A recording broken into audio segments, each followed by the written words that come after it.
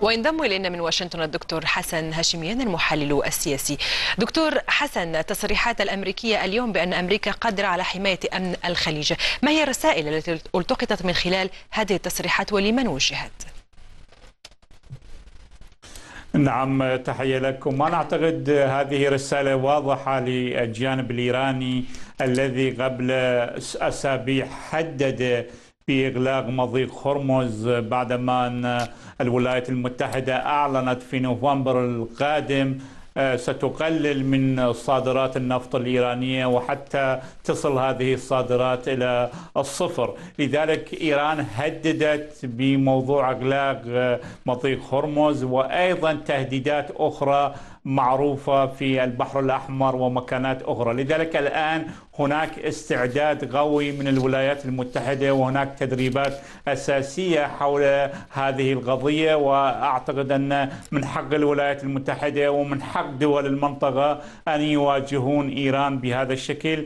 هناك ثلاث تهديدات تأتي من قبل إيران. أولا المنصات إطلاق صواريخ في ارتفاعات مضيق هرمز وخاصة صواريخ غادر التي تستطيع أن تصل إلى 200 كيلومتر وهي ضد البارجات وضد السفن البحرية طبعا إيران مستعدة لاستخدام وتوظيف هذه الصواريخ من هذه المنصات الخطر الثاني يأتي من الزوارق وهذه الزوارق معروفة وعملياتها معروفة والخطر الثالث طيب. يأتي من الألغام البحرية لذلك الآن كل التدريبات الموجودة في يعني ولكن في المقابل ما ذكرته دكتور تتركز نعم. على إيران تهدد من جهة ولكن في المقابل هناك مناورات أمريكية إن كان الآن في شاطئ جيبوتي تقوم بها الولايات المتحدة تمهيدا ربما لأي تهديد وتحسبا لأي تهديد من إيران أليس كذلك؟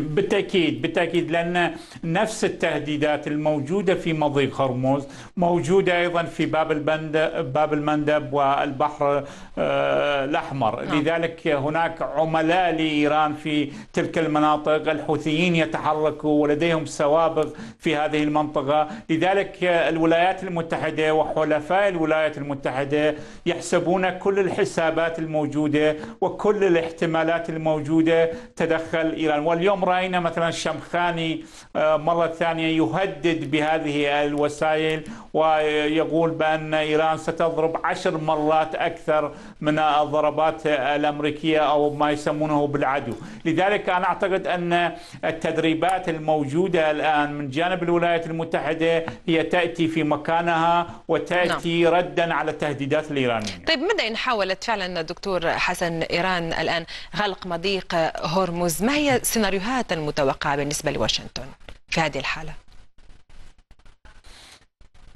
يعني ربما إيران تستطيع لأن لديها مجموعات كبيرة ومنصات كبيرة وخاصة في ارتفاعات في الجانب الإيراني من مضيق هرمز تستطيع مثلا إغلاق مضيق هرمز أو وقف الإمدادات النفطية أو حركة السفن في هذه المنطقة لمدة قصيرة ولكن لا تستطيع أن تغلق هذا المضيق لمدة طويلة وهذا معروف في إيران أنهم لا يستطيعون. وأنا أعتقد أن هناك أيضا مبالغة كبيرة في القوة البحرية الإيرانية، القوة البحرية الإيرانية الآن تعاني من سوء الإدارة، من الاختلاسات، من الفساد، والرئيس الجديد أو قائد القوة البحرية الجديد السيد علي رضا تنج سيري رجل ثرثار ومهوس بالشعارات ضد الولايات المتحدة. نعم. وأحد الشعار نعم أو نعم نعم. شكرا جزيلا لك من واشنطن الدكتور حسن هاشميان المحلل السياسي.